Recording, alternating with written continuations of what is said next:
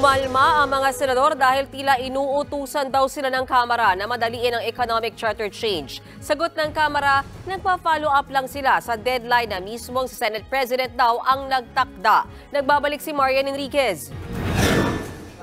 Nagpantig ang tenga ng mga senador kahapon dahil tila inaapura raw sila ng Kamara para maipasa na sa Marso ang pag-amyenda sa economic provisions ng konstitusyon. Ah, hindi po natin gawaan dito sa Senado na po ako, utusan ko kayo, na ipasa ang RBH 6 in two weeks. Baka akong tatanggalin ninyo. Tayo ba utusan dito, Mr. President? Tayo ba ay basta susunod na lamang kahit kanino?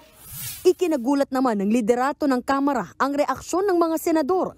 Hindi po namin sila inuutusan. Nagbabase lang po kami dun sa mga sinasabi ng kanilang leader. Giit ni House Senior Deputy Speaker Dong Gonzales, hindi ang Kamara ang nagbigay ng deadline, kundi si Zubiri mismo. Totoo naman ngang may ganyang sinabi ang Senate President noong January 15.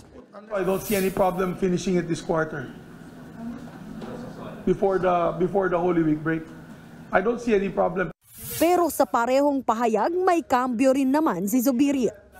I'm saying that maybe we can finish all the debates uh, or all the uh, committee hearings in the next two months.